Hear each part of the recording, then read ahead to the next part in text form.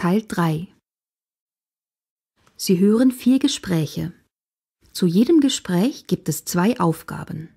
Entscheiden Sie bei jedem Gespräch, ob die Aussage dazu richtig oder falsch ist und welche Antwort A, B oder C am besten passt. Markieren Sie Ihre Lösungen für die Aufgaben 10 bis 17 auf dem Antwortbogen.